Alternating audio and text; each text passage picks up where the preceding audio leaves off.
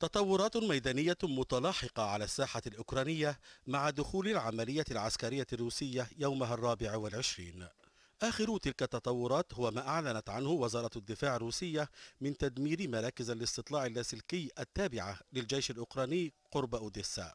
يأتي ذلك في الوقت الذي تواصل فيه القوات الروسية حصار العاصمة كييف من الجانبي الشرقي والغربي لنهر دنيبر. ويتقدم الجيش الروسي على طول عدة مسارات شرق النهر ما يصعب الموقف أكثر على القوات الأوكرانية في الشرق. وتواصل القوات الأوكرانية صد التقدم الروسي بالقرب من خاركييف وماريوبول وأجزاء كبيرة من الجنوب. وقام الجيش الأوكراني بتفجير جسر دونياتسك ماريوبول لوقف تقدم القوات الموالية لروسيا صوب المدينة المحاصرة. أما ماريوبول فبعد أسابيع من محاصرتها وقصفها تحركت القوات الروسية إلى وسط المدينة الساحلية وسط احتدام لمعارك الدبابات.